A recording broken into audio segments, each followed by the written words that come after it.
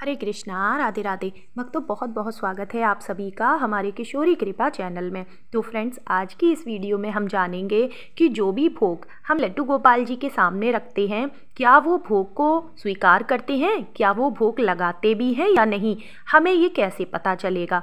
कई सारे भक्तों के मन में ये सवाल रहते हैं कि हम भोग की थाली जैसे रखते हैं, ज्यों की त्यों ही हमें मिलती है। उसमें से भोग समाप्त तो होता नहीं है और अगर भोग समाप्त नहीं होता, ठाकुर जी भोग लेते ही नहीं हैं तो फिर हम उन्हें भोग लगाते ही क्यों हैं? और कई सारे लोग तो ये भी कहते हैं कि कहाँ तुम इस कलयुग में अंधविश्वास में पड़े हो? क्या कोई मूर्ति भी भोजन ग्रहण कर सकती है?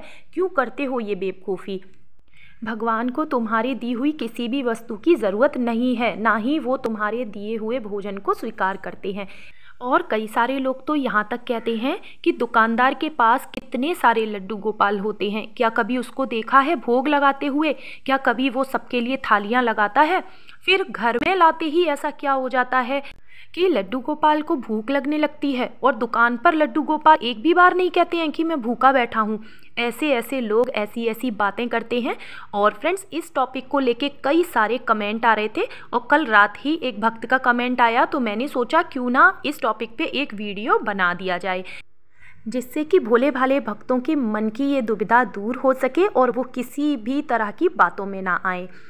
तो फ्रेंड्स देखिए, सबसे पहले तो ये जान लीजिए कि सच में भगवान निराहार हैं, निराकार हैं मतलब उनका कोई आकार नहीं है।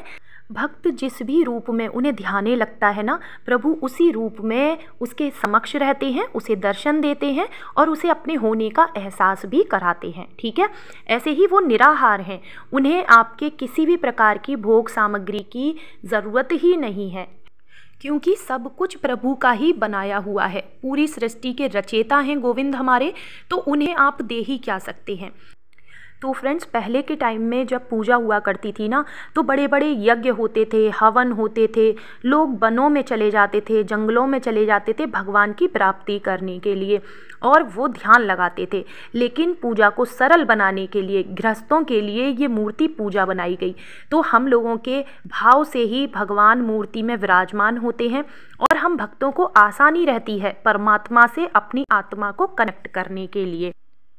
तो ऐसे में जो भक्त होते हैं ना, वो हर तरह से बस ये सोचते हैं, मैं ऐसा क्या करूँ कि मेरे प्रभु मुझसे प्रसन्न हो जाएँ? और सबसे अच्छा जो तरीका है, वो है भोग सेवा। आप अपना प्रेम भगवान को कैसे जता सकते हैं? क्या आप नित्य करेंगे? इतनी सामर्थ्य ही नहीं है आप में। आप नित्य क्या करेंगे प्रभु के लिए? हाँ आप भोग सेवा के माध्यम से प्रभु को रिझा सकते हैं। तो कहते हैं, एक गुरुजी से उनके शिष्य ने ये बात पूछी कि, गुरुजी, ये बताइए, हमें कैसे पता चलेगा कि जो भी भोग हम भगवान के सामने रखते हैं, वो भगवान ने ग्रहण किया भी है या नहीं? इस प्रश्न को सुनकर गुरुजी एकदम शांत हो गए। उन्होंने कोई जवाब नहीं दिया और सारे ही शिष्यों से उन्होंने कहा कि मैं तुमको एक श्लोक दे रहा हूँ जो कि तुम सबको याद करना है और मैं थोड़ी देर बाद अभी आता हूँ और आके तुमसे सुनूँगा।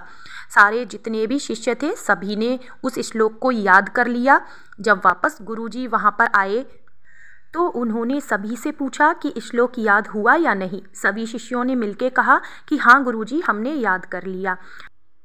लेकिन गुरुजी ने सिर्फ़ उसी शिष्य को अपने पास बुलाया जिसने कि ये प्रश्न किया था कि भगवान भोग लगाते हैं, ये हमें कैसे पता चलेगा?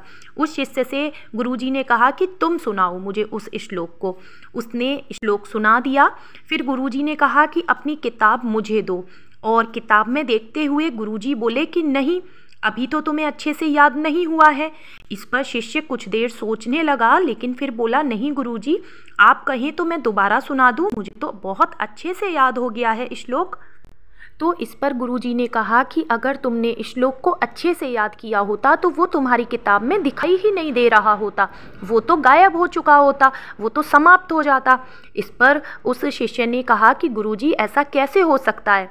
तब गुरुजी ने उसको समझाया कि हाँ क्योंकि ये स्थूल है और सूक्ष्म रूप से तुमने अपने माइंड में इसको सेट कर लिया है तो वो तुम्हें याद हो गया है।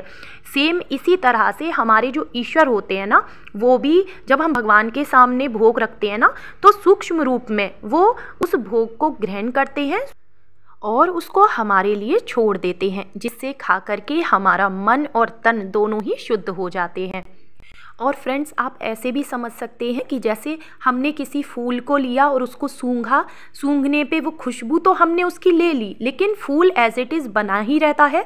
ऐसे ही वो भोग सामने हमें दिखता रहता है। तो ऐसा तो सिर्फ़ हमारे प्रभु ही कर सकते हैं हमारे लिए, कि वो लेकर भी हमसे कुछ लेते ही नहीं हैं, वो सिर्फ़ देना जानते हैं और वो सिर्फ़ दृष्टि भोग लगाते हैं, हमारे प्रेम, हमारे मन के भावों का भोग लगाते हैं। जितने प्रेम से भक्त उन्हें कुछ भी परोसता है ना खाने में, नाश्ते में, दूध, दही, घी, कुछ भी उन्हें खिलाता है ना, बस वो उससे रीझ जाते हैं और बहुत ही प्रसन्न होते हैं।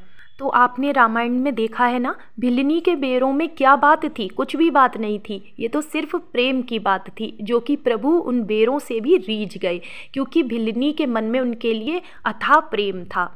तो फ्रेंड्स, उम्मीद करती हूँ आज का वीडियो आपको अच्छा लगा होगा। वीडियो पसंद आया हो तो लाइक, शेयर, कमेंट ज़रूर करें।